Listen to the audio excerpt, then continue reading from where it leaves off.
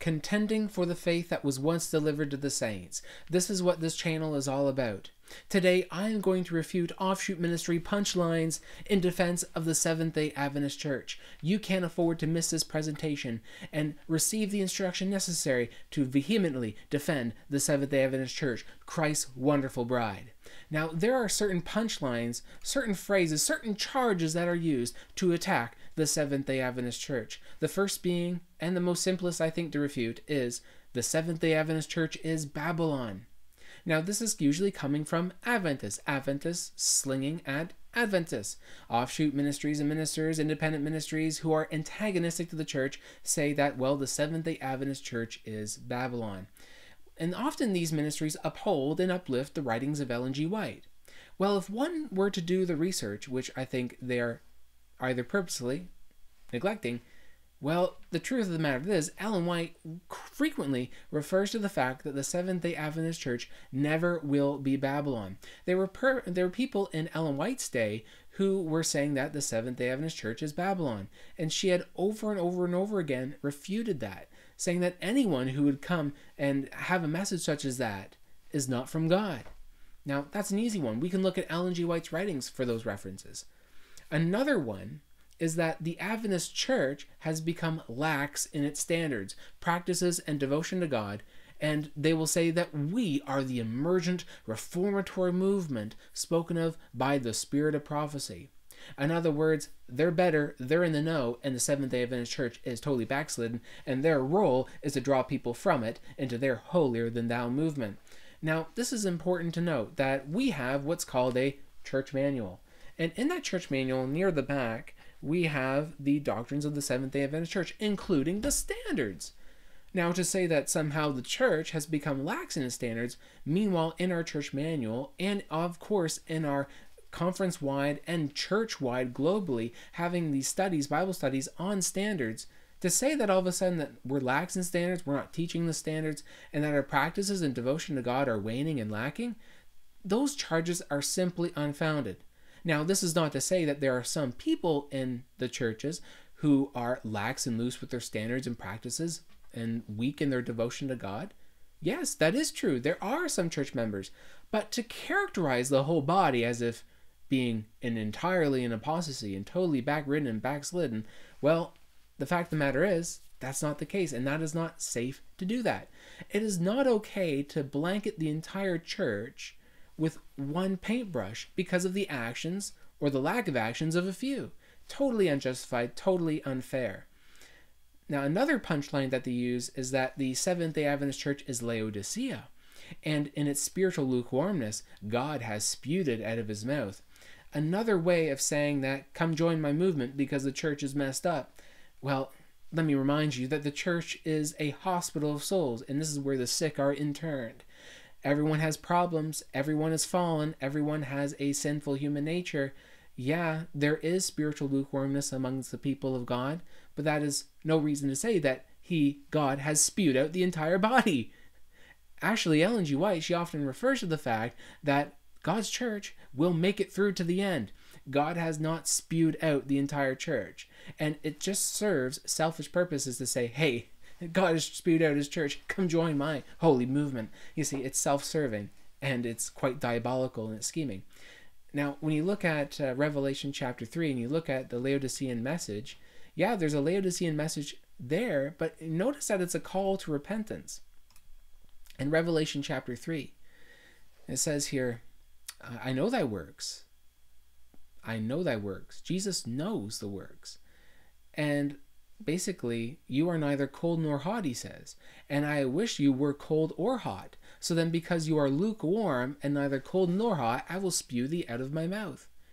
And because thou sayest, I'm rich and increased with goods and have need of nothing, and you are actually wretched and miserable, poor, blind, and naked, I counsel thee to buy of me gold, tried in the fire, that thou mayest be rich, white raiment, that thou mayest be clothed, and that the shame of thy nakedness do not appear, and anoint thine eyes with eye salve so you see here that God is not spewing out his church here. It's a reformatory message where he's saying, Look, I wish you were cold or hot. And so if you're neither cold nor hot, I'm going to spew you out of my mouth. But the message doesn't stop there because he's saying, Look, uh, here, buy this, get this, get that, so your life and your standards and your living changes. So it's not about, hey, uh, God has spewed the church out of his mouth. Actually, the message is a reformatory message, and it's a message that is actually written to God's end time church. Uh, Laodicea means the church of judgment, and we are living in the investigative judgment. And it applies to the whole church, and the church is going to go through to the end.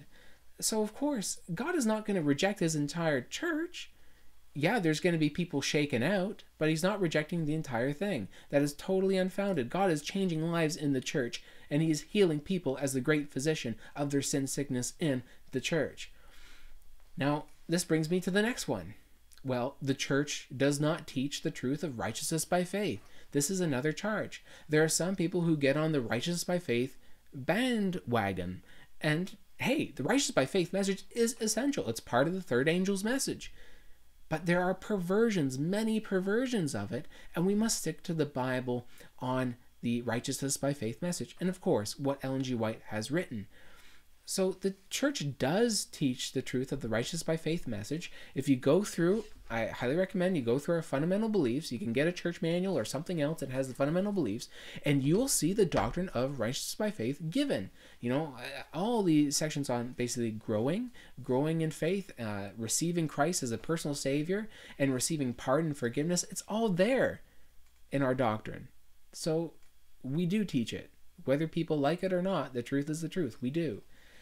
Now, God does not destroy, is the character of God's message. That's another punchline. Now, the idea God does not destroy? What? If you look from Genesis to Revelation, you will find that God does visit the world and groups in judgment. As a matter of fact, Ellen White describes the final judgment, the executive judgment of the wicked, as God's strange work. Yeah, it's strange to God because God is love and God is a creator, not a destroyer. Satan is the destroyer and, and he's the killer. But at the, ultimately, at the end of time, in God's presence, because God is an all consuming fire, that fire of God's presence is going to destroy the wicked. It's a strange work. And you know why the reason they get destroyed in the end is because they cherish sin.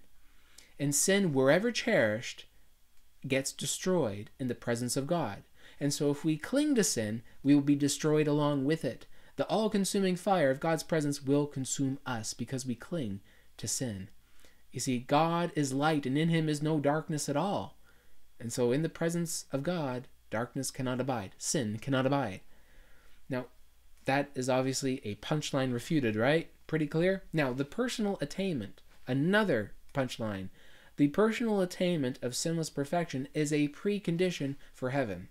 Now, to me, this one is an easy one to refute, just with common sense and logic. When we read um, Ellen G. White, we find that these reformers like Martin Luther and John Calvin and Knox and Zwingli and these other guys, you know, they didn't attain unto sinless perfection, but they're saved, okay? We know that. If you are a student of the spirit of prophecy and you understand these points and you understand even the righteous by faith message, you will know that those who uh, who who who basically have lived in the past and have lived up to all the light they had, they're saved.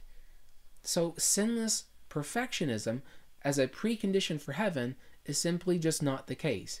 Yes, of course, we need the Holy Spirit to indwell in us, and when that Spirit dwells in us, sin is removed and sin is vanquished. We need the righteous by faith message, and we need sin to be vanquished in our lives. We can't cherish sin, but we got to learn to hate it you know, Paul in Romans, he talks about, well, I do the thing that I don't want to do, and the thing that I do want to do, I don't do. Eh, basically saying he has this war between the spirit and the flesh. And this was continuing on in his life. So, are we going to now say that um, all of a sudden Paul is now not saved? Because he clearly says he's battling with the flesh, and the things that he's wishing to do, he doesn't do, which are good, and the things that he uh, is doing, which are bad, he can't just stop doing so all of a sudden, if we were to go off this, we would say Paul's lost. Now, some would argue and say, oh, he's not talking about himself, he's talking about XYZ. Well, he's talking about somebody else, someone may argue, but it's clear in those texts that he's talking about himself. So, would we dare say that Paul is lost because he's not uh, basically perfect, sinless, perfect? Come on, give me an answer in the comment section down below. Here's another punchline, and this is my last punchline I'm going to refute in this video, is that this is the truth. Christ was only human, or that he had a sinful nature just like us. You see the danger there? Jesus' nature, this whole controversy, uh, saying that Christ was only human makes him only, well, just a man. And that if he's just a man, well, all mankind can attain to godhood. You could also say that, well, if Christ had a sinful nature, just like us, then that would make him what? It would make him just a man. If Jesus had that sinful nature, he would not be a perfect sacrifice. And all throughout the Old Testament, we read about how essentially that sacrifice or that offering that typified the Lamb of God, Jesus Christ, who take away the sin of the world, how that offering had to be perfect. And if Jesus is not that perfect offering, well, can he be an offering at all for our sins? No, obviously not. So to say that Jesus has had a sinful human nature is absolutely blown. That he had this sinful nature just like us. No. Ellen White makes it clear that he his humanity was combined with divinity. And that humanity and divinity does not commit sin. The Bible says that he was without sin and without guile in his mouth. Jesus was sinless. Now, who among us is sinless? None. So Jesus, he had the nature of man and the nature of divinity combined mysteriously. That is a mystery. That's something we're going to have to study in heaven and ask Jesus about because that is a deep topic and we only know what's revealed in scripture on that. And it's not that clear. Now, there are all these different offshoot groups, different ministries which are attacking and condemning the church. God has a bride, his church, and he is going to perfect it and have it ready for his soon return we should not take this stance, this antagonistic stance against the church, because it is Christ's bride, he loves it, and he has paid with his precious blood her redemption. Yes, the church has some problems, but look at any church in this world. They all got problems because guess what? They all have that same factor. You and me. And wherever you have you and me, there's problems because we all are broken and messed up and we all need changes in different areas in our lives. So wherever people are, there's problems.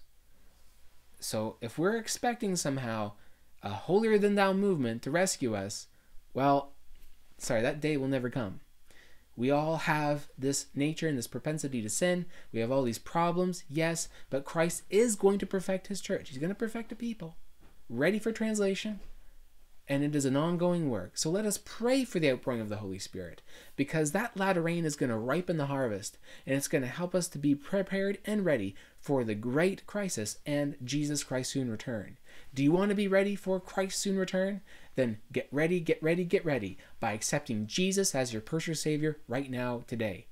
How may you do that? Well, confess and forsake your sins and rely on Jesus as the one to save you, not yourself.